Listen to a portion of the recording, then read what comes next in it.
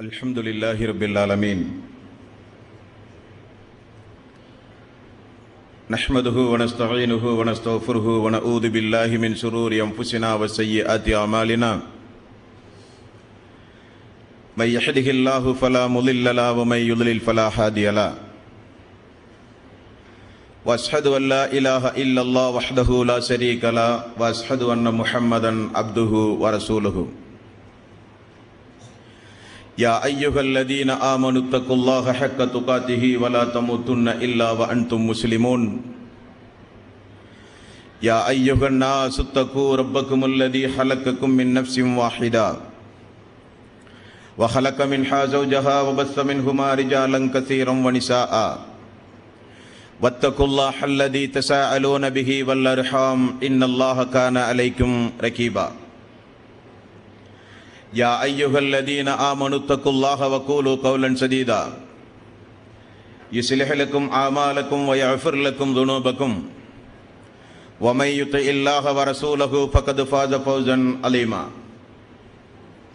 فإن خير الحديث كتاب الله وخير الحدي حدي محمد صلى الله عليه وسلم وسر الأمور محدثاتها وكل محدثة بدعة வக்குல்ல பிதாத்தின் லலாலா வக்குல்ல லலாலத்தின் பின்னார் வார்த்தைகளில் சிறந்தது அல்லாஹுடைய வார்த்தை என்றும் வழிகாட்டுதலில் சிறந்தது நபிகள் நாயகம் செல்லல்லாஹ் வலிக செல்லமருடைய வழிகாட்டுதல் என்றும் காரியங்களில் மிக மிக கெட்டது மார்க்கங்களில் பித்தத்துகளை உண்டாக்குவது. ஒவ்வொரு பித்தத்தான காரியங்களும் வழிகேடுகள் வழிகேடுகள் அனைத்தும் உங்களை நரகில் கொண்டு போய் சேர்க்கும் என்று ரசூலுல்லாய் ஸல்லல்லாஹு அலைகள் செல்லம் அவர்கள் தங்களுடைய ஒவ்வொரு சொற்பொழிவின் துவக்கத்திலும் இந்த மனித சமூகத்திற்கு நினைவுறுத்தியதை இந்த நல்ல சந்தர்ப்பத்தில் அல்லாஹனுடைய ஆலயத்தில் ஒன்று கூடியிருக்கின்ற உங்களது சிந்தனையிலும் ஆரம்பமாக அந்த நபிமொழியை நினைவுறுத்தி எனது உரையை ஆரம்பம் செய்கிறேன். எல்லாம் வல்ல அல்லாஹ் ரபுல் இணை வைத்தலை விட்டும் வித்தியத்துகள் அனாச்சாரங்கள் மூட பழக்க வழக்கங்கள் சடங்கு சம்பிரதாயங்களை விட்டும் அமல்களை பாழாக்கி மறுமை நாளில் நரகத்திற்கு அழைத்துச் செல்லுகின்ற அனைத்து தீய எண்ணங்கள் நடவடிக்கைகளை விட்டும் நம் அனைவர்களையும் அல்லாஹ் காப்பாற்றுவதோடு அல்லாஹனுடைய மார்க்கத்தில் சொல்லப்பட்ட சட்டத்திட்டங்களை நம்முடைய வாழ்வில் நாம் முழுமையாக பின்பற்றி மரணிக்கின்ற பொழுது ஒரு உண்மை முஸ்லீமாக மரணித்து மறுமை நாளில் சொர்க்கத்தில் அல்லாஹனுடைய ரசூலோடு நம் அனைவர்களையும் அல்லாஹ் ஒன்று கூட்டுவானாக.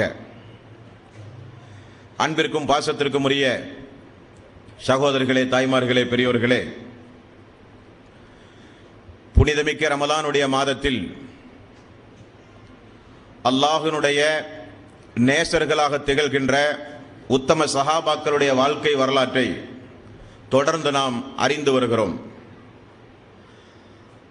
அதன் முதற்கட்டமாக அபுபக்கர் சித்திக் ரலி அல்லாஹ் அவருடைய வாழ்க்கை வரலாற்றை தொடர்ந்து இரண்டு தினங்களாக நாம் அறிந்து வருகிறோம்.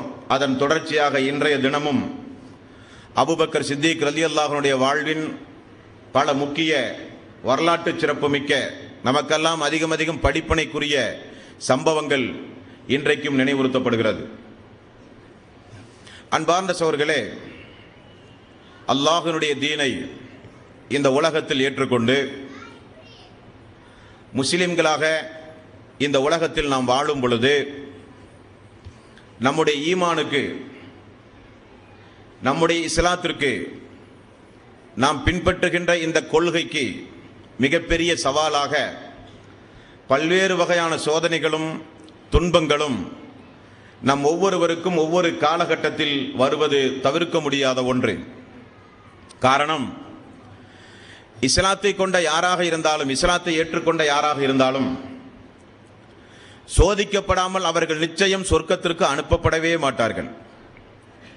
அந்த அடிப்படையில் எந்த அளவுக்கு இந்த இஸ்லாத்தின் மீது நமக்கு ஒரு ஈர்ப்புத்தன்மை இருக்கிறதோ எந்த அளவுக்கு சொர்க்கம் வேண்டும் என்று நாம் முன் வருகிறோமோ எந்த அளவுக்கு நாம் ஒவ்வொரு காரியங்களிலும் அல்லாஹுவை பயந்து நாம் நடக்கின்றோமோ எந்த அளவுக்கு நரக நெருப்பிலிருந்து முழுக்க முழுக்க நாம் ஒதுங்கி வாழ வேண்டும் என்று விரும்புகிறோமோ அதற்கேற்றவாறு அல்லாஹ் ரபுல் ஆலமீன் நம்மை சோதிப்பான்.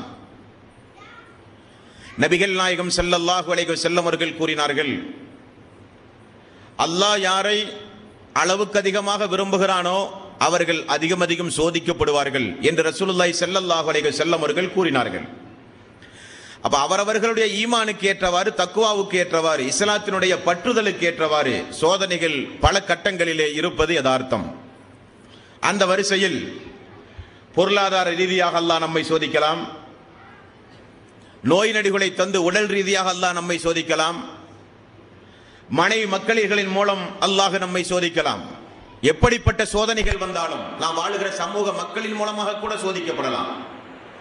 எப்படிப்பட்ட சோதனைகள் வந்தாலும் துன்பங்கள் வந்தாலும் அல்லாஹும் அல்லாஹனுடைய ரசூலும் அல்லாஹனுடைய மார்க்கமும் அல்லாஹனுடைய வேதமும் எதை நமக்கு போதிக்கின்றதோ அவைகள்தான் நமக்கு தேவை என்று உறுதிபட ஒவ்வொரு முஸ்லீமும் இருக்க வேண்டும் என்பதற்கு அபுபக்கர் சித்திக் ரலியல்லாஹுடைய வாழ்க்கையில் இருந்த ஒரு சம்பவத்தை பாருங்கள். இது ஒரு சாதாரண சம்பவம் அல்ல. இது ஒரு சாதாரண வார்த்தையும் அல்ல. அப்படி ஒரு நிலை நம்முடைய சமூகத்தில் நமக்கு யாருக்காவது ஏற்பட்டிருந்தால் நாமெல்லாம் இஸ்லாத்தை விட்டே சென்று விடுவோமோ என்கிற அளவுக்கு அந்த சம்பவம் வரலாற்றில் ஆழமாக பதிந்திருக்கிறது. ஒரு நாள் அபுபக்கர் சித்திக் ரலியல்லாஹு அவருடைய மகன் அப்துல் ரஹ்மான் இவர் ஆரம்பத்தில் இஸ்லாத்தை ஏற்கவில்லை. பிறகுதான் இஸ்லாத்தை ஏற்றுக்கொண்டார். பதில் போருக்கெல்லாம் பிறகு. பதில் போர்க்களத்தில் அபுபக்கர் சித்திக் ரலி அல்லாஹ் ஒன்று மதீனாவுடைய ஹிஜ்ரத்திற்காக வேண்டி அவருடைய தாய் அவருடைய மகள் அவருடைய மகன் அப்துல்லா குடும்பமே ஹிஜ்ரத்திற்காக வேண்டி அபுபக்கர் சித்திக் அல்லாஹன் அவர்களுக்கு உதவினார்கள் என்பதை நேற்றைய தினம் நாம் பார்த்தோம். அந்த வரிசையில் அவருடைய மகன் அப்துல் ரஹ்மான் பதுரு போர்க்களத்தில் தந்தை அபுபக்கர் சித்திக் அல்லாஹன் அவர்களுக்கு எதிராக எதிரணியில் இருக்கிறார். இன்ஷா அல்லா பத்ரு போரை குறித்து நம்முடைய இந்த தொடர் சொற்பொழி நிகழ்ச்சியில் ஒரு தினம் விரிவாக இன்ஷா அல்லா நாம் பார்க்க இருக்கிறோம். இவர் இந்த பதில் போர் முடிந்து இஸ்லாத்திற்கு வந்த பிறகு தந்தையிடத்தில் ஒரு நாள் இப்படி சொல்கிறார் தந்தையே பதில் போர் நடைகிற நடைபெற்ற அந்த நாளை நான் எண்ணி பார்க்கிறேன். அந்த நாளில் தாக்குதலும் எதிர்த்தாக்குதலும் முனைப்போடு நடந்து கொண்டிருக்கும் பொழுது தந்தையாகிய உங்களுடைய கழுத்து என்னுடைய வாளுக்கு நேராக ஒரு நாள் வந்தது. ஆனால் என்னை பெற்று வளர்த்தி ஆளாக்கிய என்னுடைய தந்தையாயிற்றே என்கிற பாசம் என்னை தடுத்தது என்று சொல்லுகிறார். யாராக இருந்தாலும் எந்த மனிதராக இருந்தாலும் அப்படி ஒரு சம்பவத்தை கேள்விப்பட்டால் மகன் நமக்கு உயிர் பிச்சை அளித்தானே என்று மகனை பாராட்டுவார்கள் பெற்றோர்கள். அப்படி ஒரு வாய்ப்பை கிடைத்தும் என்னை நீ விட்டாயே என்று நன்றி செலுத்துவார்கள். சிறிது கூட தயக்கம் இல்லாமல் அபுபக்கர் சித்திக் ரலியல்லாஹு அவர்கள் பயன்படுத்திய வாசகம் ஒவ்வொரு ஏகத்துவவாதியும் இஸ்லாத்தை விரும்புகிற ஒவ்வொரு இஸ்லாமியனும் ஹராம் ஹலால்களை பேணி அல்லாஹுவை அஞ்சி அல்லாஹுவை பயந்து ஈமான் உறுதியோடு வாழ்கிற ஒவ்வொரு இளைய தலைமுறையினர்களுக்கும் இந்த அபுபக்கர் சித்திக் ரலியல்லாஹுடைய இந்த பதில் மிகப்பெரிய ஒரு பாடமாக அமைய வேண்டும். அபுபக்கர் சித்திக் ரலியல்லாஹு அவர்கள் சாதாரணமாக சொன்னார்கள் மகனே அப்படி ஒரு வாய்ப்பு எனக்கு கிடைத்து உன்னுடைய தலை என்னுடைய வாளுக்கு நிகராக வந்திருந்தால் இன்றைக்கு என்னோடு நீ பேசியிருக்க மாட்டாய் என்றார்கள். மகன் என்றெல்லாம் நான் பார்க்க மாட்டேன். எனக்கு தேவை அல்லாஹ்வுடைய ரசூல். எனக்கு தேவை அல்லாஹ்வுடைய மார்க்கம். எனக்கு தேவை அல்லாஹனுடைய திருப்தி. எனக்கு தேவை சொர்க்கம். தந்தை மகன் மனைவி கணவன் தாய் தந்தை பாசம் நேசம் இவைகளெல்லாம் மார்க்கத்திலே கிடையாது. உண்டு. எப்பொழுது? மார்க்கத்திற்கு எதிராக இல்லாத வரை. காரணம்? நபிகள் நாயகம் செல்லல்லாஹலை செல்லவர்கள் அந்த மக்களை இப்படித்தான் வளர்த்தினார்கள். லா யுக்மினு அஹதுக்கும் ஹத்தா அகூன அஹப்ப இலைஹி மின் வாலிதிகி வ வலதிகி வன்னாசி அஜ்மஈன் நீங்கள் உண்மை மூமினாக முடியாது. யார் தன்னுடைய தாயை விட தன்னுடைய தந்தையை விட தன்னுடைய உற்றார் உறவினர்களை விட உலகத்து மாந்தர்களை விட என்னை நேசிக்கவில்லையோ? அவர்கள் உண்மை மூமின் கிடையாது. ரசூலுல்லாஹி ஸல்லல்லாஹு அலைஹி வஸல்லம் அவர்கள் கூறினார்கள்.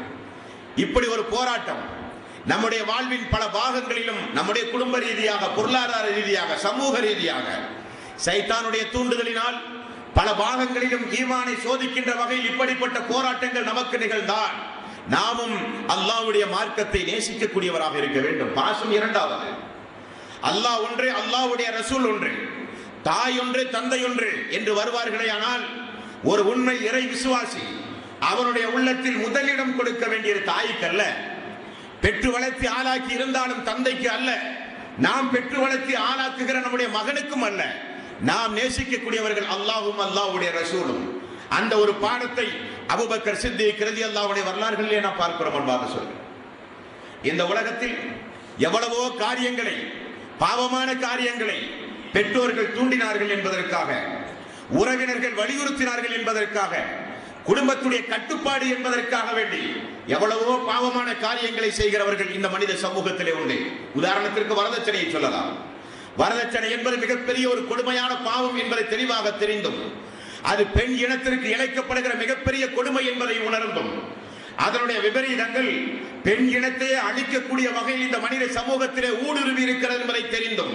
பெற்றோர்கள் சொன்னார்கள் குடும்பத்தார்கள் சொன்னார்கள் தாய் சொன்னார் தந்தை சொன்னார் என்பதற்காக வேண்டி பாவத்தை செய்கிற நாமெல்லாம் யோசித்து பார்க்க வேண்டும் என்பதாக சொல்கிறேன் நண்பர்களுக்காக வேண்டி சமூகத்திற்காக வேண்டி குடும்பத்திற்காக வேண்டி பழக்க வழக்கத்திற்காக வேண்டி எல்லாம் அல்லாஹு தடுத்த அல்லாஹ் ஹராமான அல்லாஹ்வுடைய கோபத்தை பெறுகின்ற எவ்வளவோ பாவமான காரியங்களை நாம் செய்கிறோம். அபுபக்கர் சித்திக் ரலி அல்லாஹன் அவர்கள் அப்படிப்பட்டவர் அல்ல. அல்லாஹ்வுடைய தீன் என்று வந்தால் அல்லாஹ்வுடைய மார்க்கம் என்று வந்தால் அல்லாஹ்வுடைய ரசூல் என்று வந்தால் அவருக்கு அதற்கு முன்னால் வேறு யாரும் அவருடைய கண்ணுக்கு தெரியாது. அல்லாஹ் சொன்னானா அல்லாஹ்வுடைய ரசூல் போதித்தாரா? அது சொர்க்கத்திற்குரிய வழியா? அதுதான். அந்த சஹாபாக்குடைய வாழ்க்கை வரலாறாக இருந்தது. அதைத்தான் அல்லாஹ் அவருடைய அருள்மறையாம் திருமறை குரானில் ஐம்பத்தி எட்டாவது அத்தியாயத்தில் இருபத்தி இரண்டாவது வசனத்தில் அல்லாஹ் ரப்பல் ஆலமீன் நமக்கு போதிக்கிறான். உண்மையான இறை விசுவாசிகள் யார் தெரியுமா? அவர்கள் அல்லாஹுவையும் அல்லாஹ்வுடைய ரசூலையும் அல்லாஹ்வுடைய மார்க்கத்திற்கும் அல்லாஹுடைய வேதத்திற்கும் விரோதிகளாக இந்த உலகத்தில் யார் இருக்கிறார்களோ?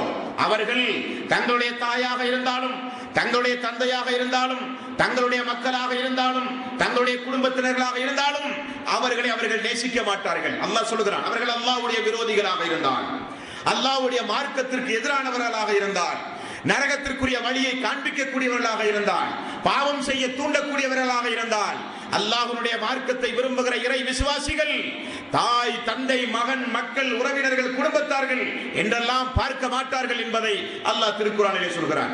لا تجد قوما يؤمنون بالله واليوم الآخر يوادون من حاد الله ورسوله ولو كان آباؤهم وأبناءهم أو إخوانهم أو عصيرتهم அல்லாஹுவையும் அல்லாஹுடைய தூதரையும் நேசித்த இறை விசுவாசிகள் யார் என்றால் அவர்கள் அல்லாஹுடைய விரோதிகளாக யாராவது திகழ்ந்து அது உங்களுடைய தாயாகவோ உங்களுடைய தந்தையாகவோ உங்களுடைய குடும்பத்தினர்களாகவோ யாராக இருந்தாலும் அவர்களை நீங்கள் நேசிக்க கூடாது அப்படி நேசிக்காமல் யார் இருக்கிறார்களோ அவர்களுடைய உள்ளத்தில் அல்லாஹ் ஈமானை முழுமையாக எழுதிவிட்டான். அல்லாஹ் சொல்கிறான் ஐம்பத்தி எட்டாவது அத்தியாயத்தின் இருபத்தி இரண்டாவது வசனம்.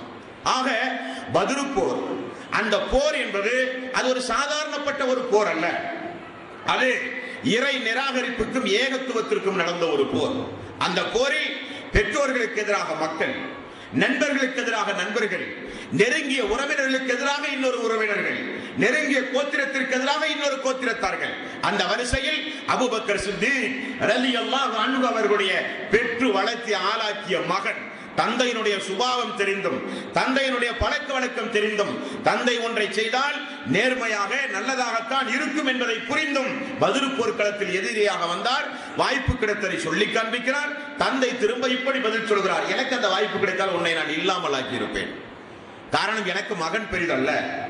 எனக்கு மார்க்கம் தான் பெரிது என்று சொன்ன அந்த ஒரு சம்பவத்தில் நமக்கு அப்படிப்பட்ட ஒரு பாடம் இரண்டாவது ஒட்டுமொத்த சகாபாக்களும் சஹாபாக்கள் கூட மீதம் இல்லாமல் உமர் அலி அவர்கள் முதற்கொண்டு அடுத்த கட்டம் அவர்தானே? இஸ்லாமிய மார்க்கத்தில் ரசூலுல்லாய் செல்லல்லாஹனை செல்லவர்கள் அதிகம் அதிகம் புகழ்ந்து பாராட்டிய இரண்டாவது ஒரு நபித்தோழர் உண்டுமானால் உமர் அலி அன்ஹு. அவர் முதற்கொண்டு என்றால் மீதமுள்ள சஹாபாக்களை சொல்ல வேண்டிய அவசியமே இல்லை. எல்லோரும் ஒரு கட்டத்தில் எல்லோரும் ஒரு கட்டத்தில் மிகப்பெரிய குழப்பத்திலே இருந்த நேரம். அன்றைக்கு அபுபக்கர் சித்திக் ரலி அல்லாஹன் அவர்கள் மட்டும் வந்திருக்காவிட்டால் அல்லாஹ்வுடைய நாட்டம் அவரை அல்லாஹ் வரவழைத்தது. வந்திருக்காவிட்டால் குழப்பம் நீடித்திருக்கும். மதீனா நகர் முழுக்கமே பற்றி எறிந்திருந்தாலும் அன்றைக்கு ஆச்சரியப்படுவதற்கு இல்லை. அப்படிப்பட்ட மிகப்பெரிய ஒரு சம்பவம் மதீனாவிலே நடந்ததன் பார்த்த சொல்கிறேன் அந்த சம்பவம் என்ன சம்பவம் என்றால் ரசூலுல்லாய் ஸல்லல்லாஹு மரண சம்பவம். அல்லாஹ்வுடைய ரசூல் இதே போன்று புனிதமிக்க ஒரு ரமதானுடைய மாதத்தில் ஏத்திகாஃபில் இருக்கும் பொழுது ஜிப்ரீல் அலைகி சிராத்து வசலாம் அவர்கள் வந்தார்கள். இந்த மாதத்துடைய ஒரு தனிச்சிறப்பு என்னவென்றால் இந்த மாதம்தான் திருக்குரான் இறக்கி அருளப்பட்ட மாதம். இந்த மாதத்தில் தான் ஜிப்ரீல் அலைகி ஸலாத்து வசலாம் அவர்கள் வந்து திருக்குரானை சரிபார்க்கிற மாதம் இந்த மாதம். இந்த மாதத்தில் தான் அல்லாஹ்வுடைய ரசூல் மரணிக்க போகிறார்கள் என்கிற முன்னறிவிப்பு கொடுக்கப்பட்ட மாதம். அப்படிப்பட்ட இந்த மாதத்தில் ரசூலுல்லாய் ஸல்லல்லாஹு செல்லமர்கள் வஸல்லம் இருக்கும் பொழுது ஜிப்ரீல் அலைகி சலாத்து வசலாம் அவர்கள் வந்தார்கள். வந்து முஹம்மதை திருக்குரானை ஓதுங்கள். அல்லாஹ்வுடைய ரசூல் ஒவ்வொரு வருடமும் இதே போன்று ஜிப்ரீல் அலைஹி சலாத்து வசலாம் அவர்கள் வருவார். அல்லாஹ்வுடைய ரசூலுடைய 23 ஆண்டு காலம் தொடர்ந்து நடந்த சம்பவம். அதுவரை இறக்கப்பட்ட திருக்குரானுடைய வசனங்களை எல்லாம் ஓதுவார்.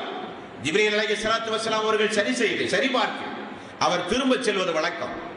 அல்லாஹ்வுடைய ரசூலுடைய இருபத்தி மூன்றாவது வருடத்தில் அல்லாவுடைய ரசூலுடைய இருபத்தி மூன்றாவது நபித்துவ வருடத்தில் ஜிப்ரீல் அலகி சலாத்து வசலாம் இதே போன்ற ரமலானுடைய மாதத்திலே வந்தார். அல்லாவுடைய ரசூலை திருக்குரானை ஓதுங்கள். ரசூலுல்லாய் செல்லல்லாஹலை செல்லம் இறக்கப்பட்ட வசனங்களை எல்லாம் ஓதி காண்பித்தார்கள்.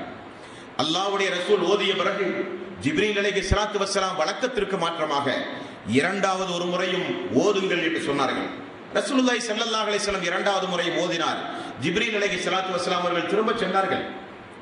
அல்லாவுடைய ரசூல் ஜிப்ரீல் அலைஹி ஸலாத்து வசலாம் இரண்டு முறை திருக்குரானுடைய வசனங்களை ஓத சொன்ன அந்த சம்பவத்தை பார்த்து அல்லாஹ்வுடைய ரசூல் முடிவு செய்தார். இது வழக்கத்திற்கு மாற்றமான ஒரு சம்பவம். நம்முடைய ஆயுள் காலம் முடிவடைய போகிறது. பாத்திமா ரதி அல்லாஹனவர்களை வீட்டுக்கு சென்று அழைத்து சொன்னார்கள் மகளே என்னுடைய ஆயுள் காலம் முடிய போகிறதாக நான் உணர்கிறேன். பாத்திமா ரதி அவர்கள் அழுதார்கள். ரசூலுல்லாய் செல்லல்லாஹலை செல்லவர்கள் அதை இப்படி விவரித்தார்கள். ஒவ்வொரு வருடமும் புனிதமிக்க ரமலானுடைய மாதம் வந்தால் ஒரு முறை ஓதச் சொல்கிற ஜிப்ரீல் அலைஹி ஸலாத்து வஸலாம் இந்த முறை இரண்டு முறை ஓதச் சொல்லி இருக்கிறார் என்கிற ஒரு முன்னறிவிப்பு அதே போல அல்லாஹு தாலா அவனுடைய அருள்மறையாம் திருமறை குரானி இதா ஜாஅ நஸ்ருல்லாஹி வல் ஃபத்ஹ் ورأيت الناس يدخلون في دين الله أفواجا فسبح بحمد ربك واستغفره إنه كان توابا அல்லாஹ் இந்த அத்தியாயத்தை இறக்கிய பிறகு ரசூலுல்லாஹி ஸல்லல்லாஹு அலைஹி வஸல்லம் அவர்கள் மிக தயாரானார்கள் மரணத்திற்காக வேண்டி. இது அப்படிப்பட்ட ஒரு அத்தியாயம். இந்த அத்தியாயத்தில் அல்லாஹ் என்ன சொல்கிறான்? முகமதை இறை தூதரவர்களே உங்களுக்கு மிக விரைவில் அல்லாஹ் மிகப்பெரிய ஒரு வெற்றியை தரப்போகிறான். அந்த வெற்றிக்கு பிறகு மக்கள் கூட்டம் கூட்டமாக இஸ்லாத்தின்பால் வரப்போகிறார்கள். அப்படி வரும் பொழுது அல்லாஹுவை தஸ்பீகி செய்யுங்கள் அல்லாஹுவை புகழுங்கள் அல்லாவிடத்திலே பாவ மன்னிப்பு தேடுங்கள். இந்த அத்தியாயம் இறங்கியவுடன் ரசூலுல்லாஹி ஸல்லல்லாஹு அலைஹி வஸல்லம் சுப்ஹானல்லாஹி வ பிஹம்திஹி சுப்ஹானல்லாஹில் அலீம் லா இலாஹ இல்லா அன்த சுப்ஹானக இன்னி குன்து மினல் லாலிமீன் லா ஹவுல வலா குவத இல்லா பில்லாஹ் லா இலாஹ இல்லல்லாஹ் வஹ்தஹு லா ஷரீக லா லஹுல் முல்கு வ லஹுல் ஹம்த் வ ஹுவ அலா குல்லி ஷைஇன் கதீர் நிறைய திக்ருகளை ரசூலுல்லாஹி ஸல்லல்லாஹு அலைஹி வஸல்லம் அவர்கள் ஓத ஆரம்பித்து அல்லாஹ்விடத்திலே பிழை பொறுக்க தேடிக் கொண்டிருந்தார்கள் இந்த அத்தியாயத்திற்கு பிறகு இந்த அத்தியாயத்தில் என்ன சொல்கிறான் அல்லாஹ் மிகப்பெரிய ஒரு வெற்றியை உங்களுக்கு நான் தரப்போகிறேன் என்பது காபாவுடைய வெற்றி மக்காமா நகரத்தினுடைய வெற்றி. அந்த வெற்றியை எதிர்பார்த்து அந்த வெற்றிக்கு அந்த வெற்றிக்கு பின்னால் கூட்டம் கூட்டமாக மக்கள் இஸ்லாத்தை தழுவ போகிறார்கள் என்கிற ஒரு முன்னறிவிப்பு. ஏனென்றால் உலகமே எதிர்பார்த்திருந்தது. இந்த முகம்மது உண்மையில் இறை தூதராக இருந்தால் இந்த கௌபாவை இந்த புனிதமிக்க மக்காவை அவர் வெற்றி கொள்ளட்டுமே. அவர் வெற்றி கொண்டால் அவர் உண்மையான இறை தூதர் என்பதை நாம் எல்லாம் ஒப்புக்கொள்வோம் என்று கோத்திரம் கோத்திரமாக கிராமம் கிராமமாக குடும்பம் குடும்பமாக எல்லோரும் எதிர்பார்த்துக் கொண்டிருந்தார்கள். அப்பொழுதுதான் அல்லாஹ் ரசூலுல்லாய் செல்லல்லாஹலை செல்லம் அவர்களுக்கு மரண சம்பவத்தை நினைவுறுத்தினான். மரணிக்க போகிறார் என்பது தெளிவானது. அல்லாஹ்வுடைய ரசூலுக்கு புனிதமிக்க மக்காவை அல்லாஹ் கைகொண்டு வெற்றியை அல்லாஹ் ரப்பல் அளவில் கொடுத்தான். எல்லோரும் இஸ்லாத்தை தழுவினார்கள். அல்லாவுடைய ரசூலுடைய பணி முடிய போகிறது. மூன்றாவது ரசூலுல்லாய் செல்லல்லாஹலை செல்லவர்களுக்கு இறக்கப்பட்ட ஆயத் அல்யௌம அக்மல்து திலக்கும் தீனக்கும் வாத்துவம் தாலைக்கும் அலைக்கும் நிஅமதி வ இஸ்லாம் அதீனா இந்த மார்க்கத்தை அல்லாஹ் முழுமையாக்கி விட்டான். என்னுடைய அருள் என்னுடைய ரஹமத் என்னுடைய கிருபை எல்லாம் உங்களின் மீது நான் பூரணமாக்கி விட்டேன் என்கிற ஆயத் அரஃபா பெருவழியில் வைத்து இறங்கியது. அதற்கு பிறகு ரசூலுல்லாய் செல்லல்லாஹலை செல்லம் ஒன்று ஜிபிரியிலுடைய வருகை இரண்டாவது மக்காவுடைய வெற்றி மூன்றாவது அல்லாவுடைய ஆயத் மார்க்கம் முழுமையடைந்து விட்டது. இனி நபிக்கு வேலை இல்லையே மார்க்கம் முழுமையடைந்து விட்டது. ரசூலுல்லாய் ஸல்லல்லாஹு அலைஹி மக்கா ஹஜ்ஜுடைய நாட்களில் அரஃபா பெருவழியில் இறங்கிய அந்த வசனத்திற்கு பிறகு ஊர் வந்தார்கள். சிறிய ஒரு தலைவலி ஏற்பட்டது. அத்தோடு நோயில் படுக்க படுக்கையாக இருந்தார்கள். அதிகமாக மக்களோடு தொடர்பில்லை. நாளுக்கு நாள் நாளுக்கு நாள் நோய் அதிகமானது. ஒரு கட்டத்தில் நபிகள் நாயகம் செல்லல்லாஹலை செல்லம் இறக்க வேண்டிய சூழ்நிலை ஏற்பட்டது.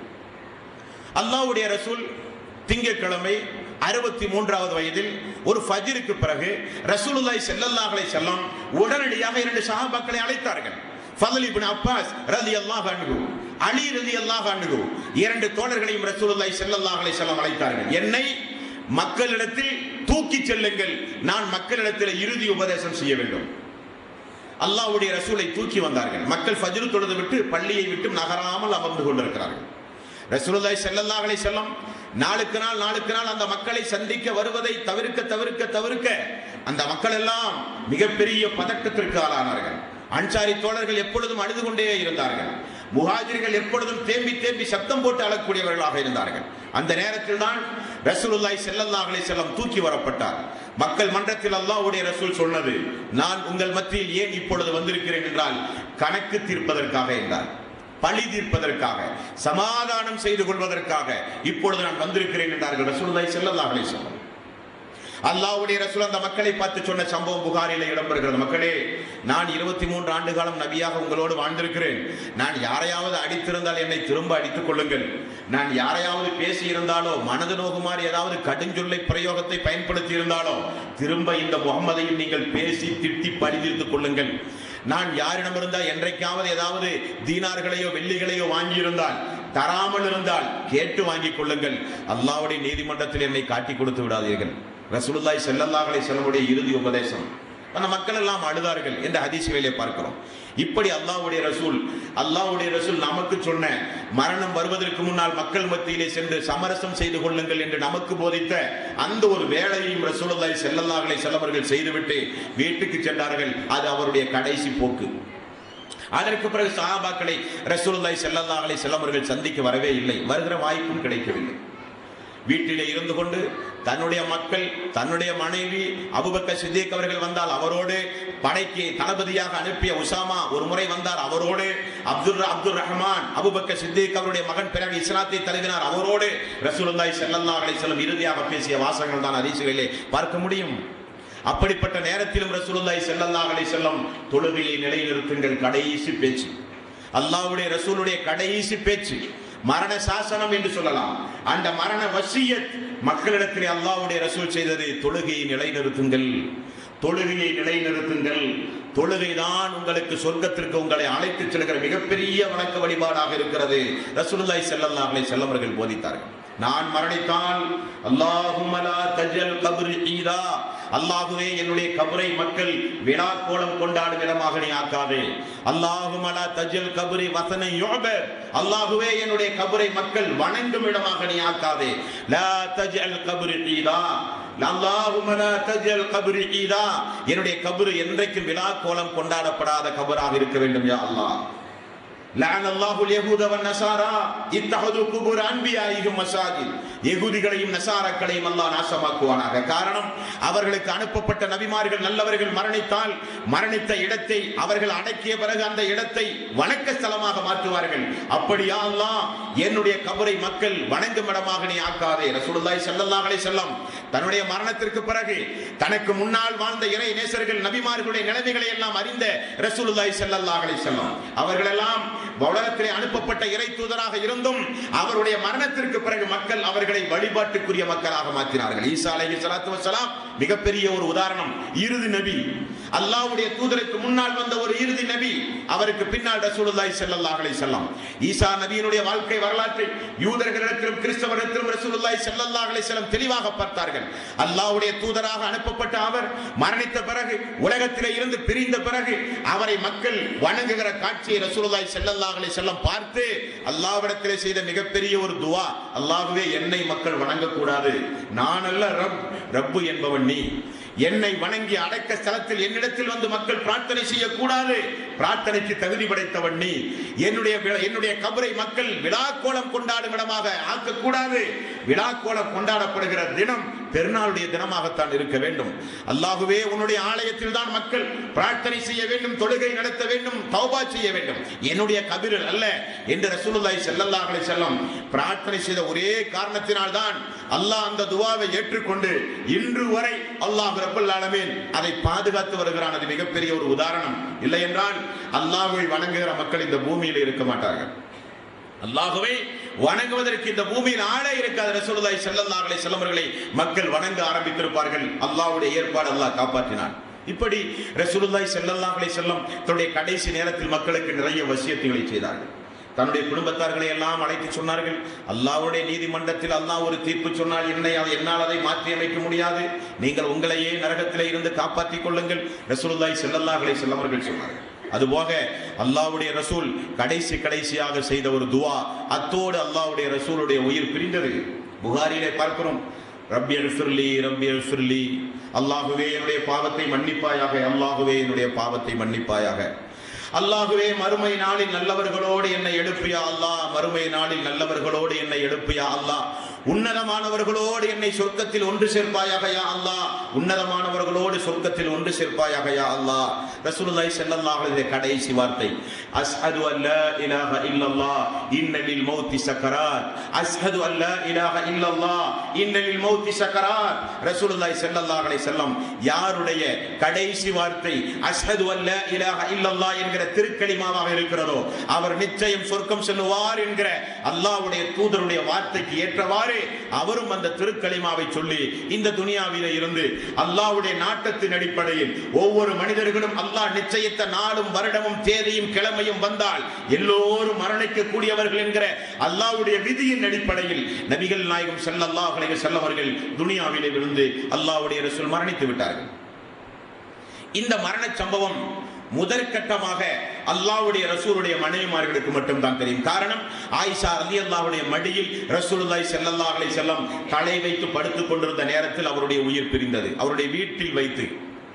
யாருக்கும் அல்லாஹ்வுடைய ரசூலுடைய வீட்டுக்கு வர அனுமதி இல்லை. காரணம் அல்லாவுடைய ரசூல் ஆரம்பத்திலேயே தன்னுடைய குத்துபா உரையில் மக்களை சந்தித்து பேசும் பொழுது யாரும் என்னுடைய வீட்டுக்கு வரக்கூடாது வா- வழிகளை எல்லாம் அடைத்து விடுங்கள் என்று ரசூலுல்லாய் செல்லல்லாஹலை செல்லம் சொன்ன காரணத்தினால் அல்லாவுடைய ரசூலுடைய வார்த்தையை மீறி யாரும் சென்று விடாமல் மக்கள் எல்லாம் பள்ளியை சுற்றியே கூட்டம் கூட்டமாக அமர்ந்து கொண்டிருந்தார்கள்.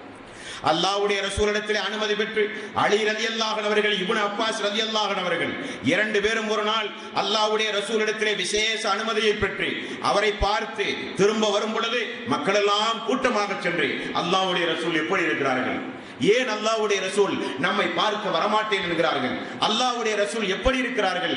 என்று அலி ரலியல்லாஹு இடத்திலும் அப்பா அப்பாஸ் அல்லாஹ் இடத்திலும் மக்கள் கூட்டமாக சென்று கேட்டார்கள்.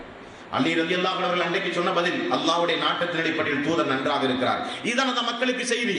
ரசூல்லாய் செல்லல்லாஹலை செல்லும் மரணித்து விட்டார். மனைவிமார்களின் மூலம் தகவல் சொல்லப்படுகிறது அல்லாவுடைய ரசூல் மரணித்து விட்டார்கள் என்று. இருந்தாலும் அந்த செய்தி எந்த சகாபாக்களாலும் அன்றைக்கு ஏற்றுக்கொள்ளப்படாத நிலைமை காரணம் அவர்களால் நம்ப முடியவில்லை.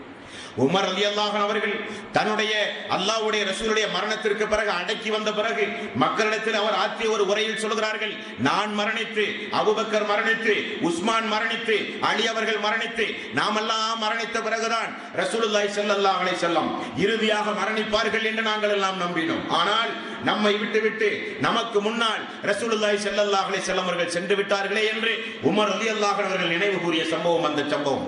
இப்படி மக்கள் நம்பாத ஒரு கட்டம். எந்த அளவுக்கு என்றால் உமர் அலி அல்லாஹன் அவர்கள் கையில் வாழை ஏந்தி கொண்டு யூதர்களுடைய காரியம் இந்த காரியம். முனாஃபிக்குடைய செயல்பாடுகள் இந்த செயல்பாடுகள். அல்லாவுடைய ரசூல் எப்பொழுது மரணிப்பார்? இஸ்லாத்திலே இருந்து வெளியே செல்வோம் என்பதை என எதிர்பார்த்து கொண்டிருக்கிற நயவஞ்சகர்கள் திட்டமிட்டு ரசூலுல்லாய் செல்லல்லாஹலை செல்லம் மரணித்து விட்டார்கள். என்று வதந்தியை கிளம்புகிறார்கள். நிச்சயம் அல்லாவுடைய ரசூல் வருவார். இந்த செய்தி எப்படிப்பட்ட செய்தி என்றால் மூசா அலைகி சலாத்து வசலாம் மக்களை அமர வைத்து மூசா அலைகி சலாத்து வசலாம் அல்லாவுடைய வகையை எதிர்பார்த்து குறிப்பிட்ட ஒரு மலைக்கு சென்ற பொழுது மூசா இறந்து விட்டார் என்று எப்படி யூதர்கள் திட்டம் போட்டு பிரச்சாரம் செய்தார்களோ அதே போன்று அல்லாவுடைய ரசூல் இறந்து விட்டார்கள் என்ற பொய் பிரச்சாரம் மதீனா முழுக்க செய்யப்படுகிறது. யாரும் அதை நம்ப வேண்டாம் என்கிற பொது அறிவிப்பு உபரதியல்லாக அவர்கள் செய்து கொண்டிருக்கிறார்கள். கையில் வாளோடு வெளியூருக்கு சென்ற அபுபக்க சித்தி கல்யல்லாஹ் அவர்களுக்கு தகவல் கிடைத்தது. இந்த சம்பவம் கொடூரமான ஒரு சம்பவம். அல்லாவுடைய ரசூல் மரணித்து போய்விட்டார். காட்டு தீயை போல செய்தி. உலகமே எதிர்பார்க்கிற ஒரு செய்தி. மக்கள் எல்லாம் மதீனாமா நகரம் முழுக்க மக்கள் எல்லாம் எதிர்பார்த்து நின்று கொண்டிருக்கிற ஒரு செய்தி. ஒரு சகாபாக்கள் கூட அல்லாஹ்வுடைய ரசூல் உண்மையில் மரணித்து விட்டார். நம்மை விட்டும் பிரிந்து விட்டார் என்று எண்ணுவதற்கு மனமில்லாத சஹாபாக்கள் எல்லா சஹாபாக்களும். காரணம் என்ன? உயிரை விட நேசித்தார்கள். ஒரு நாள் அல்லாவுடைய ரசூலை பார்க்காவிட்டாலும் துடியாய் துடிப்பார்கள். இருபத்தி நாலு மணி நேரம் அந்த சஹாபாக்களுக்கு இருக்கிற ஒரே கவலை அல்லாவுடைய ரசூலோடு சுருக்கத்தில் இருக்க வேண்டும். நமக்கு வேறு ஒன்றும் வேண்டாம். மதீனாவில் எப்படி ரசூல்லாய் ஸல்லல்லாஹு அலைஹி பார்த்து சந்தோஷமாக வாழ்ந்து வருகிறோமோ இதே போன்று மதி மறுமையில் சொர்க்கத்திலும் அல்லாஹ்வுடைய ரசூலோடு இருக்க வேண்டும். நபிமார்கள் ஒரு இடத்திலும் நாம் ஒரு இடத்திலும் இருந்து சொர்க்கத்தில் கூட பிரிந்து விடக்கூடாது என்று எண்ணுகிறவர்கள் அந்த சஹாபாக்கள். எப்படி அவர்களால் தாங்க முடியும்? செய்தியை கேட்டு அபுபக்கர் சித்திக் ரதி அல்லாஹன் அவர்கள் வந்தார்கள் என்பார்கள் அவர்களே. வந்து ஆயிஷா அலி அல்லாஹிடத்திலே சொன்னார்கள். ஆயிஷாவே அல்லாவுடைய தூதரிடத்தில் சலாம் சொல்லுங்கள் அவருடைய தோழர் வந்திருக்கிறேன் என்று. அனுமதி கொடுக்கப்பட்டால் நான் உள்ளே வருவேன். ஆயிஷா அலி அல்லாஹன் அவர்கள் சொன்ன பதில் இனி உங்களுடைய தோழர் உங்களுக்கு அனுமதி கொடுக்க வேண்டிய அவசியம் இல்லை காரணம் அவர் மரணித்து விட்டார். அபுபக்கர் சித்திக் ரலியல்லாஹு அன்ஹு அவர்கள் எந்த அளவுக்கு ஒரு ஈமானில் உறுதி படைத்தவர் என்று பாருங்கள். ஊரே இனி உலகமே என்று சொல்லலாம். எல்லோரும் அல்லாஹ்வுடைய ரசூல் மரணிக்கவில்லை. அவர் இனியும் வருவார். அவர் ஒரு மயக்கத்தில் இருக்கிறார். நோய்வாய்ப்பட்டு கிடக்கிறார் என்று எல்லோரும் நம்பி இருக்கிற நேரம். உமர் அலி அல்லாஹன் அவர்கள் யாராவது ரசூலுல்லாய் ஸல்லல்லாஹு செல்ல மரணித்தார் என்றால் கொன்று விடுவேன் என்று மிரட்டிக் கொண்டிருக்கிற நேரம். நேராக வந்து ரசூலுல்லாய் ஸல்லல்லாஹு செல்லம் அவர்கள் படுக்க வைத்திருந்த அந்த துணியை அகற்றி முகத்தில் அழகாக முத்தமிட்டு எவ்வளவு பெரிய ஒரு நெஞ்சுறுதி மிக்க அபுபக்க சித்தி கவி அன்ஹு அவர்கள் பாருங்கள். தனக்கு தாங்க முடியாத ஒரு துயரச் சம்பவமாக இருந்தாலும் மக்கள் எல்லாம் வெளியில் ஒரு விபரீதமான முடிவுக்கு சென்று விடக்கூடாது என்பதற்காக வேண்டி தன்னை சுத- உதாசி தன்னை உஷார்படுத்தி உள்ளத்தை பக்குவப்படுத்தி அந்த இடத்தில் அவர் சொன்ன வாசகம் யார சூழல்லாம் நெத்தியில் முத்தமிட்டு யார சூழல்லாம் உயிரோடு இருக்கும் பொழுது எப்படி நீங்கள் நறுமணம் கமழ்ந்தவர்களாக இருந்தீர்களோ அதே போல நீங்கள் மரணித்த பிறகும் நறுமணம் கமழ்கிறீர்களே யார சொல்லலாம் சொல்லிவிட்டு முகத்தை மூடி வெளியே வந்தார். அபுபக்க சித்தியை ரலியல்லாஹு அல்லாஹன் அவர்கள் உமர் அவர்களை அமருங்கள். உமர் அவர்களை அமருங்கள். உமர் அவர்களை அமருங்கள். உமர் அவர்கள் அமர்ந்தார்கள். என்னதான் இருந்தாலும் ஒரு மூத்தவர் அபுபக்கர் சித்தி ஒரு நாள் ரசூலுல்லாஹி ஸல்லல்லாஹு அலைஹி வஸல்லம் ஆரம்பத்திலே உங்களுக்கு நான் நினைவுபடுத்தி இருக்கிறேன் அவருடைய மனசு நோகுமாறு பேசிய நேரத்தில் அல்லாஹ்வுடைய ரசூல் எனக்காக வேண்டி நீங்கள் மன்னிக்க கூடாதா என்று முன்னிலைப்படுத்திய ஒரு வயது முதிர்ந்த ஒரு ஒரு சஹாபி ஒரு நபித்தோழர். அல்லாஹ்வால் பாராட்டப்பட்ட ஒரு நபித்தோழர். அவர் சொன்னவுடன் உமர் அவர்கள் அமர்ந்தார். எல்லா மக்களையும் ஒரு இடத்துல ஒன்று கூட்டினார் அபுபக்கர் சித்திக் ரலியல்லாஹு அல்லாஹன் அவர்கள். மக்கள் எல்லாம் கருத்து வேறுபாடு கொண்ட ஒரு விஷயத்தை மக்கள் எல்லாம் நம்ப மறுத்த ஒரு விஷயத்தை மக்களால் ஜீரணிக்க முடியாத ஒரு விஷயத்தை தன்னுடைய சுய கருத்தை கொண்டு மக்களுக்கு நினைவுறுத்தாமல் அல்லாவுடைய ஆயத்தை சொன்னால் மக்கள் எல்லாம் கட்டுப்படுகிற ஒரு கூட்டம் என்பதை உணர்ந்து அல்லாவுடைய ஆயத்திற்கு நேர்மாறாகவோ எதிராகவோ என்றைக்குமே இவர்கள் சிந்திக்க மாட்டார்கள் என்பதை உணர்ந்து அல்லாஹ்வுடைய ஆயத்தை சொன்னால் அவர்களுடைய விருப்பம் அவர்களுடைய வெறுப்பெல்லாம் தூக்கி வீசி அல்லாஹ்வுடைய ஆயத்துக்கு அவர்கள் கட்டுப்படுவார்கள் என்பதை உணர்ந்து அந்த மக்கள் மத்தியில் அவர் ஆற்றிய உரை புகாரி என்கிற நபிமொழியிலே நீங்கள் பார்க்கலாம். அந்த மக்களை பார்த்து அபுபக்க சித்தி ரலியல்லாஹு அன்ஹு அவர்கள் பயன்படுத்திய வாசகம் மன்கான் அபுது முஹம்மதன். நீங்கள் எல்லாம் தெரிந்து கொள்ளுங்கள் முகம்மதை வழிபடுகிற மக்கள் இங்கே யாராவது இருந்தால். முகமது நபி ஸல்லல்லாஹு அலைஹி வஸல்லம் அவர்களை வணங்குகிற மக்கள் இங்கே யாராவது இருந்தால் நீங்கள் தெரிந்து கொள்ளுங்கள். ஃபஇன்ன கதுமான் அந்த முகமது நபி ஸல்லல்லாஹு அலைஹி வஸல்லம் அவர்கள் மரணித்து போய்விட்டார்கள். ஒரே அறிவிப்பு. ஒரு அறிவிப்பு. அறிவிப்புக்கு முன்னால் அவர் பயன்படுத்திய வாசகம் நீங்கள் அல்லாஹுவை வணங்குகிற மக்களாக இருந்தால் அல்லாஹ்வுக்கு தான் மரணம் கிடையாது. நீங்கள் முகம்மதை வணங்குகிற மக்களாக இருந்தால் முகம்மது வணக்கத்திற்குரியவர் அல்ல முகம்மது மரணித்து விட்டார். மேலும் தொடர்ந்து சொல்கிறார் ஒமன் கான யஅபுதுல்லாஹ். அல்லாஹுவை வணங்குகிற மக்கள் இங்கே யாராவது உண்டுமானால் நீங்கள் தெரிந்து கொள்ளுங்கள் ஃபைன் அல்லாஹ லா யமூத். அவன்தான் மரணிக்காதவன். இந்த அல்லாவுடைய ரசூல் மரணித்து விட்டார்கள் என்ற ஒரு செய்தியை எடுத்துச் சொல்லி அதே இடத்தில் உடனடியாக முப்பத்தி ஒன்பதாவது அத்தியாயத்தின் முப்பதாவது வசனத்தை மக்கள் மன்றத்தில் ஓதி காட்டினார்கள். இன்னக்க மையித்துன் இன்னகும் மையித்தூன். நபியே நீங்களும் மரணிக்கக்கூடியவர்கள் அவர்களும் மரணிக்கக்கூடியவர்கள் என்கிற ஆயத்துங்களுக்கு நினைவில்லையா? ஞாபகப்படுத்தினார்கள் அந்த மக்களுக்கு. ஐயோ அக்குமத்திற்கும் தீனக்கும் வாத்திமம் அழைக்கும் நியமத்தி வரலீத்திற்கும் இஸ்லாமதீனா எந்த மார்க்கம் முழுமை அடைந்ததாக தூதரின் மூலம் அல்லாஹ் சொன்னானோ அந்த மார்க்கத்தினுடைய வேத வரிகளை அந்த மக்களுக்கு எடுத்து சொன்னார்கள். நபியே நீங்களும் ஒரு கட்டத்தில் மரணிக்கக்கூடியவர்கள் அவர்களும் மரணிக்கக்கூடியவர்கள் என்பதை ஓதி தொடர்ந்து அந்த மக்களுக்கு மூன்றாவது அத்தியாயத்தில் நூத்தி நாற்பத்தி நான்காவது வசனத்தை தொடர்ந்து ஓதி காட்டினார்கள். ஒமா முஹம்மதுன் இல்லா ரசூல். இந்த முஹம்மது அல்லாஹ்வுடைய ரசூலே தவிர வேறொன்றும் கிடையாது. கது ஹலத்து மின் கபிலிக ரசூல். இந்த தூதர் கொன்று கொல்லப்பட்டு விட்டாலோ இந்த தூதர் இறந்து போய் விட்டாலோ நீங்கள் என்ன? அஃபையின் மாத்த அவ் குத்திலன் கலபுத்தும் அலா அகாபிக்கும். இவர் அல்லாஹ்வுடைய ரசூலை தவிர வேறொன்றும் கிடையாது. இவர் ஒரு முஹம்மத். இவருக்கு முன்னால் நிறைய ரசூல்மார்கள் தூதர்மார்கள் வந்து போனார்கள். அதே போல ஒரு தூதர் இவர். இவர் இறந்தாலோ அல்லது கொல்லப்பட்டாலோ நீங்கள் என்ன இந்த மார்க்கத்தை விட்டு புரண் தடம்புரண்டு சென்று விடுவீர்களா? என்று அல்லாஹ் கேட்கிற இந்த ஆயத்தை ஓதியவுடன் உமர் ரலியல்லாஹு அவர்கள் சொல்கிறார்கள் அப்பொழுதுதான் அந்த ஆயத் எங்களுக்கு மதீனாவில் இறங்கியதை போல் இருந்தது. நாங்கள் எல்லாம் அந்த ஆயத்தை மறந்தவர்களாக இருந்தோம் என்று சொல்லி உமர் அவர்கள் மயக்கமுற்றி கீழே விழுந்தார். அபு உமர் அவர்களை பார்த்து அபுபக்க சித்தி கல்யாணம் அவர்கள் சொன்னார்கள் அல்லாவுடைய ஒரு ஆயத்தை ஒரு மனிதன் நிராகரித்தாலும் அவனை எதிர்த்து நான் போர் செய்வேன். எங்கெல்லாம் அல்லாஹ் தொழுகையை குறித்து எங்கெல்லாம் அல்லாஹ் நோன்பை குறித்து அல்லாஹ் சொல்லுகிறான் எங்கெல்லாம் அல்லாஹ் ஜக்காத்தை வலியுறுத்தி சொல்கிறான் அது குறிப்பிட்ட காலத்திற்கு பிறகு மாற்றப்பட்ட சட்டமே கிடையாது. ஒட்டகத்தினுடைய ஒரு சாட்டையை ஒரு மனிதன் ஜக்காத்தாக கொடுக்க மறுத்தாலும் அவனை எதிர்த்து நான் போர் செய்வேன் என்றார்கள். அவருடைய நெஞ்சுறுதியை பார்த்து உமர் அவர்கள் அடங்கி போனார்கள். என்று அதிசயங்களே பார்க்கிறோம். எங்கு பார்த்தாலும் ரசூலுல்லாஹி ஸல்லல்லாஹு அலைஹி வஸல்லம் காலத்தில் அல்லாஹ்வுடைய தூதர் உயிரோடு இருக்கும் பொழுதே முசைலமா என்று சொல்லப்படுகிற ஒரு படுபாவி நானும் அல்லாஹ்வுடைய ரசூல் என்று அவனும் தன்னை நபி என்று மக்கள் மத்தியிலே பிரகடனப்படுத்தி ஒரு புறம் மறைமுகமாக அல்லாஹ்வுடைய ரசூல் எப்பொழுதெல்லாம் ஆட்களை அனுப்பி அவனை பிடித்து வரச் சொல்கிறாரோ அப்பொழுதெல்லாம் தப்பித்து தப்பித்து ஒளிந்தோடி ஒளிந்தோடி நாடு கடத்தப்பட்டு அங்குமிங்குமாக ஓடி ஓடி வாழ்ந்த முசைலமா அல்லாஹ்வுடைய ரசூலுடைய மரணத்திற்கு பிறகு வேகமாக வந்தான் சமூகத்திற்கு. நானும் அல்லாஹ்வுடைய ரசூல். குறைசி கோத்திரத்தில் நானும் ஒரு நபி. ரசூலுல்லாஹி ஸல்லல்லாஹு அலைஹி வஸல்லம் அவர்கள் மரணித்த பிறகு மிகப்பெரிய குழப்பத்தை உண்டாக்கின முசைலமா. எந்த அளவுக்கு என்றால் அவன் நபி என்பதை ஒப்புக்கொள்கிற மக்கள் நாற்பதாயிரம் பேர். ஒரு ஊரையே தன் கைவசம் வைத்திருந்தான் எனக்கு வகி வருகிறது.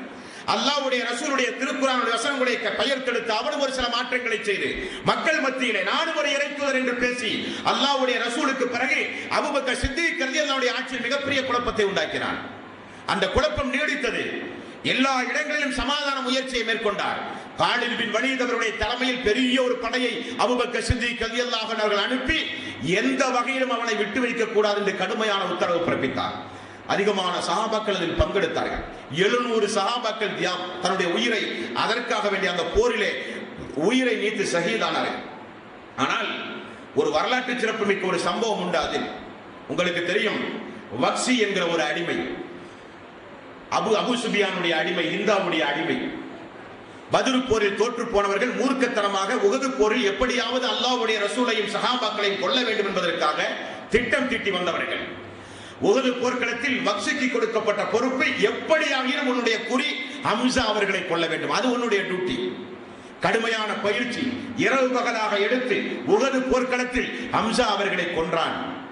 ஹம்சா அவர்களுடைய கொலை சம்பவத்தை ரசூலுல்லாய் ஸல்லல்லாஹு செல்லும் வஸல்லம் உகது போர்க்களத்தில் போர் முடிந்து எல்லோரும் எதிரிகள் சென்ற பிறகு ஒவ்வொரு மக்களையும் பார்த்து பார்த்து பார்த்து பார்த்து வருகிற பொழுது முசப் ரதி அல்லாஹனவர்களை பார்த்து அல்லாவுடைய ரசூல் தேம்பி தேம்பி அழுதார். அம்சா ரதி அல்லாஹனவர்களை பார்த்து தாங்க முடியாத துயரத்தோடு ரசூலுல்லாய் செல்லல்லாஹலை செல்லவர்கள் சொன்னார்கள் பூமியில் இனி இதற்கு பிறகு எனக்கு ஒரு கஷ்டமே கிடையாது. அந்த அளவுக்கு எனக்கு மனவேதனை. என்னுடைய அம்சாவுடைய உடலை பார்த்து காரணம் இந்த வக்சியால் கொல்லப்பட்டு ஹிந்தா என்கிற பெண்மணி உடல் உறுப்புகளை எல்லாம் சிதைத்து காதுகளை மூக்குகளை கண்களை எல்லாம் தோண்டி கோரமாக இருந்து கிடக்கிறார்கள். அம்சார் அலி அவர்கள். மக்காவுடைய வெற்றி இஸ்லாமிய சாம்ராஜ்யம் உகது போருக்கு பிறகு கொடூரமாக கொல்லப்பட்ட எதிரிகளை எல்லாம் சஹாபாக்கள் உன்னிப்பாக பார்த்து வந்தார்கள். மக்கா வெற்றிக்கு பிறகு எல்லோரும் இஸ்லாமிய மார்க்கத்தை தழுவும் பொழுது இந்த வக்சியும் இஸ்லாமிய மார்க்கத்தை தழுவ வேண்டும் என்று விரும்பினார். ஆனால் சஹாபாக்குடைய கண்களை விட்டு மறைந்து வாழ்ந்திருந்தார். அபு சுபியான் அபு சுபியானுடைய மனைவி ஹிந்தா அவருடைய அடிமை இந்த வக்சி இஸ்லாமிய மார்க்கத்தை மக்கா வெற்றிக்கு பிறகு தழுவினார். முகத்தை மறைத்துக் கொண்டு கூட்டத்திற்கு மத்தியில் யாருக்கும் தெரியாமல் வந்து அல்லாஹ்வுடைய ரசூலுக்கு பிறப்பக்க அருகிலே வந்து அல்லாவுடைய ரசூல் நான் இஸ்லாத்தை தழுவினேன் என்றார்கள். இஸ்லாத்தை தழுவினால் ஒன்றும் செய்ய முடியாது. சஹாபாக்கள் எல்லாம் பார்த்தார்கள் இவர் வக்சி. முகத்தினுடைய துணியை அகற்றுகிறார் பார்த்தார் வக்சி. ரசூலுல்லாஹி ஸல்லல்லாஹு அலைஹி வஸல்லம் இஸ்லாத்தை ஏற்றுக்கொண்ட பிறகு அல்லாஹ்வையே ஒப்புக்கொண்ட பிறகு இணை வைத்தலில் இருந்து மீண்ட பிறகு ஏகத்துவம் என்று சொல்லி தௌஹீதான பிறகு தௌஹீத் சகோதரனான பிறகு என்னதான் செய்ய முடியும்? அல்லாஹ்வே எல்லா பாவங்களையும் மன்னித்தால் மன்னிக்க முடியாதவன் மன்னிக்க மன்னிக்க கூடாது என்று சொல்வதற்கு நாம் யார்? ரசூலாய் ஸல்லல்லாஹு செல்லமர்கள் சொன்னார்கள் வச்சியே இஸ்லாத்தை தழுவியது இருக்கட்டும். என்னுடைய தோழர் ஹம்சாவை எப்படி கொண்டீர் சொல்லுங்கள் என்றார். நடந்த சம்பவத்தை சொன்னார். ரசூலாய் ஸல்லல்லாஹு அலைஹி சொன்னார்கள் என்னால் தாங்க முடியவில்லை. நீங்கள் முடிந்த வரை என் கண் முன்னால் நடமாடுவதை தவிர்த்துக் கொள்ளுங்கள். என் கண் முன்னால் நடமாடுவதை தவிர்த்துக் கொள்ளுங்கள். நீங்கள் என்னுடைய சகோதரன் நீங்கள் என் கண் முன்னால் நடமாடும் பொழுது எனக்கு என்னுடைய அம்சாவுடைய ஞாபகம் வருகிறது. என் கண் முன்னால் நடமாடாதீர்கள். நீங்கள் என்னை முடிந்தவரை என்னுடைய கண் எதிரே வராதீர்கள் என்று ரசூலுதாய் ஸல்லல்லாஹு அலைஹி சொன்னார். அது பக்ஷிக்கு மிகப்பெரிய ஒரு தாக்கத்தை உண்டாக்கியது. என்னதான் இருந்தாலும் ஒரு மக்கத்து பெருவிதியில் நம்மோடு வாழ்ந்த நமக்கு பல உபகாரங்களை செய்த அந்த குடும்பத்தில் இருக்கிற அம்சாவை இப்படி நாம் கொன்று விட்டோமே அதற்கு ஏதாவது ஒரு பழிக்கு பழி ஒரு சரியான ஒரு பரிகாரம் இந்த இஸ்ராத்தில் இருக்கிற நாம் செய்தே ஆக வேண்டும் என்று எதிர்பார்க்கிற அந்த பக்ஸிக்கு அருமையான ஒரு வாய்ப்பு இந்த முசைலமா கிடைத்தான். காலித் பின் வலிதுடைய படையில் அந்த பக்ஸி இருந்தார். வக்சியுடைய ஒரே குறிக்கோள் முசைலாமாவை கொல்லாமல் இந்த இடத்திலே இருந்து நகரக்கூடாது. அம்சா அவர்களை கொன்று ஒரு பழிக்குற்றம் நம் மீது சுமத்தப்பட்டிருக்கிறது. அந்த கரை நீக்கப்பட வேண்டும். இஸ்லாத்திற்கு மிகப்பெரிய ஒரு நன்றி கடன் நான் செலுத்தியாக வேண்டும் என்பதற்காக வேண்டி கூட்டத்தில் புகுந்து குறி வைத்து பின்தொடர்ந்து பின்தொடர்ந்து சென்று முசைலமாவை தாக்கி அவருடைய உயிரை கொண்டு பறித்தார். வக்சி அப்படிப்பட்ட ஒரு வரலாற்று சிறப்புமிக்க ஒரு சம்பவம் முசைலமாவை எதிர்த்து நடத்தப்பட்ட போரில் இருக்கிறது. அது அபுபக்க சித்திய கல்யாணுடைய ஆட்சி காலத்தில் இருந்தது. அன்பார்ந்த சொற்களே அல்லாவுடைய தூதருடைய மரணத்திற்கும் அபுபக்க சித்திகவுடைய மரணத்திற்கும் இருக்கிற ஒரு யதார்த்த சம்பவத்தை பாருங்கள். அல்லாவுடைய ரசூல் மரணிக்கும் பொழுது வயது அறுபத்தி மூன்று இந்த தோழரும் மரணிக்கும் பொழுது வயது அறுபத்தி மூன்று ரசூலுல்லாய் செல்லல்லாஹலை செல்லவர்கள் மரணித்தது திங்கட்கிழமை. இந்த தோழர் மரணித்தரும் திங்கட்கிழமை. ரசூலுல்லாய் ஸல்லல்லாஹு செல்லவருடைய மரணம் அடக்கப்பட்டது ஆயிஷா ரதியதாவுடைய வீட்டில். மரண நேரத்தில் மரணம் சக்கராத்துடைய நேரத்தில் தனது மகள் ஆயிஷாவை அழைத்து இந்த அபுபக்கர் சித்திக் அவர்கள் என்ன கேட்டார்கள் தெரியுமா மகளே? அல்லாஹ்வுடைய ரசூலை எத்துணை துணி கொண்டு அடக்கினீர்கள் தந்தையை மூன்று துணி கொண்டு. நம்முடைய வீட்டில் எனக்கு கவனாக எத்தனை துணி உண்டு ரெண்டு துணி உண்டு. அப்படியானால் ஒரு துணி காசு கொடுத்து வாங்கி வாருங்கள். மூன்று துணியோடு என்னை நீங்கள் அடக்குங்கள். கவன் செய்யுங்கள். தந்தையே மூன்று துணியும் காசு கொடுத்து வாங்கி புது துணியோடு உங்களை நாங்கள் கவன் செய்யட்டுமா? புது துணி உயிரோடு உள்ளவர்கள் ஆணையட்டும். மரணிக்கக்கூடியவர்களுக்கு புது துணி எதற்கு?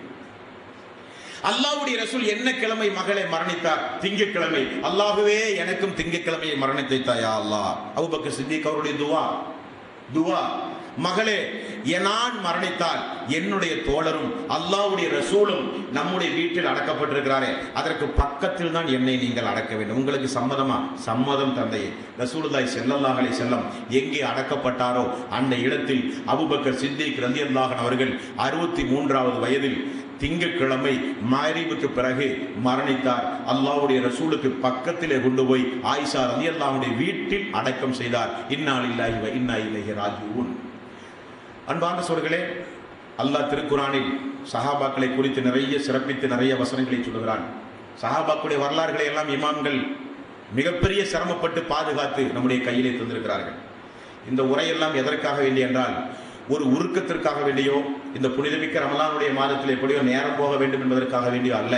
இவருடைய வாழ்க்கை வரலாறிலிருந்து நமக்கு கிடைக்கக்கூடிய பாடங்கள் படிப்பினைகளை திரும்ப திரும்ப நாம் அசை போட்டு பார்த்து ஏதாவது ஒரு படிப்பனையாவது நம்முடைய வாழ்விலை நாம் பின்பற்ற வேண்டும். நமக்கெல்லாம் கண்டிப்பாக சொர்க்கம் தேவை. நமக்கு நரகத்துடைய சிறிய வேதனை கூட அனுபவிக்கிற ஆற்றலோ சக்தியோ நமக்கு கிடையாது. அது அப்படிப்பட்ட நெருப்பு அல்லாவுடைய நெருப்பு அந்த நெருப்பு. அதை தாங்குகிற சக்தி நமக்கு கிடையாது. ஏ ஐயுகல்லதீன ஆமனுக்கும் அன்புசக்கும் வகலிக்கும் நாரா. ஈமான் கொண்டவர்களை உங்களையும் உங்களுடைய குடும்பத்தாரையும் எரிகின்ற நரக நெருப்பிலே இருந்து பாதுகாத்துக் கொள்ளுங்கள் என்று அல்லாஹ் சொல்கிறான் ஆக இந்த சமூகத்திற்கு இன்னொரு அபுபக்கர் வர முடியாது. இந்த சமூகத்தில் இந்த உலகத்தில் இன்னொரு அபுபக்கரை நீங்கள் பார்க்க முடியாது. நம்மில் யாராவது ஒருவர் அபுபக்கரை போல் இல்லாவிட்டாலும் அவருடைய வாழ்க்கையில் நடந்த அவருடைய வாழ்க்கையில் நடந்தேறிய தியாகங்கள் பெருந்தன்மை அவருடைய மார்க்கத்தினுடைய பற்று அவருடைய பேருதலான வாழ்வு அவருடைய தர்ம சிந்தனை இவைகளையெல்லாம் நாம் இந்த பயானின் மூலம் கேள்விப்பட்டிருப்போம். எதையாவது ஒன்றையாவது நம்முடைய வாழ்வில் இந்த ஒரு சகாபாக்களுடைய இந்த ஒரு சகாபியுடைய வாழ்வினுடைய சம்பவத்தை நம்முடைய குடும்பத்தில் நாம் பின்பற்ற வேண்டும். நமக்கு பிறக்க போகிற மக்களுக்கு அபுபக்கர் என்கிற அழகான ஒரு பெயரை வைத்து அவரை நினைவு கூறுகிற ஒரு பெயரை வைத்து நம்முடைய மக்களுக்கு அவரை நம்முடைய குடும்பத்தில் நினைவு கூற வேண்டும். எல்லாம் வல்ல அல்லாஹு தாலா எதை கேட்டோமோ அதன் அடிப்படையில் வாழ்ந்து மரணிக்கக்கூடிய நன்மக்களாக அல்லாஹ் நம் அனைவர்களையும் ஆக்கி அருள் புரிவானாக. இன்ஷா அல்லா நாளைய தினம் அடுத்து சிறப்பான ஒரு நபித்தோழர் உமர் அலி அல்லாஹன் அவர்கள் அவருடைய வாழ்க்கை வரலாற்றை இன்ஷா அல்லா நாளைய தினம் பார்ப்போம். வாஹ் தௌவானா. அனில் அஹமதுல்லாஹி ரபில் ஆலமீன்.